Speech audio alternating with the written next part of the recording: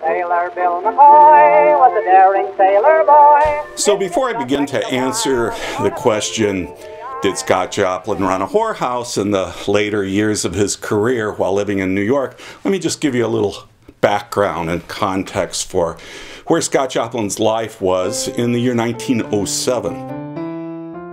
This was the year he actually moved from St. Louis, Missouri to New York at the height of his career, even though he really hadn't had a hit since Maple Leaf Rag. In fact, nothing he composed rivaled that in terms of commercial success. He had set his sights on something much grander, and that was an opera, his second opera that he had been working on for quite some time. And he felt his fortunes lay in moving to New York, where he'd hoped to stage the opera, attract investors, and uh, return to some degree of success. Unfortunately, that didn't happen at all. By 1910, the early teens, 1911, 1912, his fortunes really waned. In fact, he had long ago spent all the money related to royalties from Maple Leaf Rag, and certainly sales had fallen off considerably.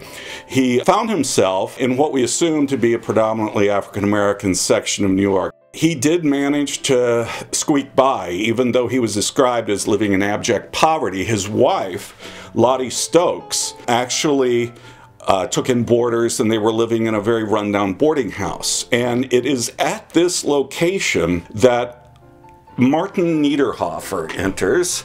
And Martin Niederhoffer is the accountant at Crown Music, which was one of several publishers Joplin turned to to sell his compositions, even though they weren't really selling as much as the larger publishers would have hoped for.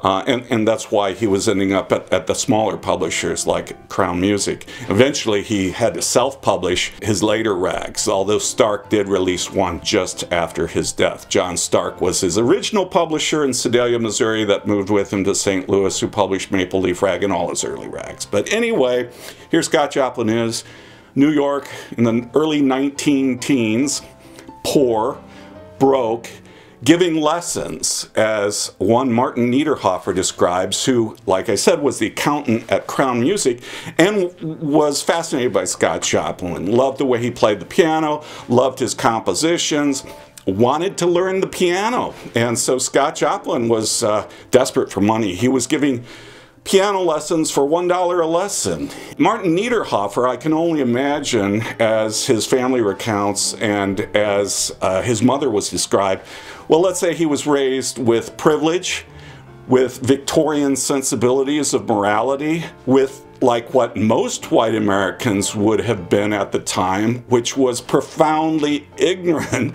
of the lives of African Americans, of their culture and their challenges, both economic, socially, racially. They had no clue all of the contemporary uh, uh materials in cultural music, popular music from the late 19th century and early 1900s had this kind of mythical uh, lie that was perpetuated by whites that African Americans were really happier on the plantation. Slavery, yeah, it may not have been so great, but at least all their needs were taken care of. Totally condescending, patronizing, arrogant beyond words. So here is Martin Niederhoffer, uh, like I said, the white accountant, starting to take lessons from Scott Joplin in New York. And what he describes to his mother is peculiar. He thinks it's kind of weird because he's going into Scott's residence, like I said, um, a boarding house, and he, he says, Well, you know, it's kind of strange because evidently a lot of his family staying there too because um, there are all these men and i had no idea he had all these uh, brothers and probably extended family but they seem to be getting along just fine.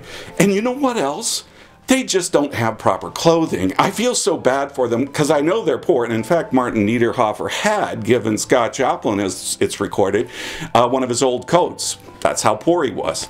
So anyway, Martin's in there looking around at the, all these men, and well, they must be family because all African Americans look alike, right? Uh, and well, they must not have clothes because they're all walking around in towels, and they're going in and out of rooms, and there's the strangest sounds coming from the rooms. This is Martin Niederhoffer's description of his boarding house. You know what biographers like Ed Berlin, Rudy Blesh, who uh, did some of the first initial interviews of these historical figures. We're told by his wife, after Scott Joplin had died, when she was interviewed, that, yep, she ran a boarding house, and yep, it was known as a house of assignation. A house of assignation meant that it was basically rooms for rent for very short times, like one hour, okay, two hours. And so the boarders, yeah, they weren't boarders, they were Johns. And the women were probably not seen because their work was behind closed doors. And so to Martin Niederhoffer, he couldn't, I mean, he came from a different world, a different world where Victorian puritanical values painted all kinds of uh, fancy misperceptions and uh, delusions about how people were to live.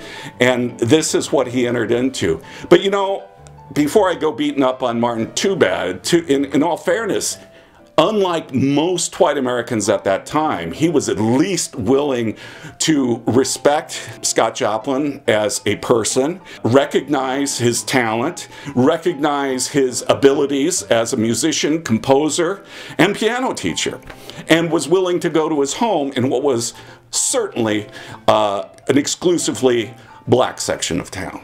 So the answer, did Scott Joplin run a whorehouse in his later years in New York is not quite. But his wife ran a boarding house where prostitutes plied their trade. And that's it for today's little history lesson here at Sailor Bill McCoy's. Check out our other videos. Please like and share this video. If it was of interest to you, I'm sure it'll be interesting to other people. And by all means, if you haven't already, subscribe to our YouTube channel. Sailor Bill McCoy was a daring sailor boy. His ship got wrecked a while on a Fiji isle.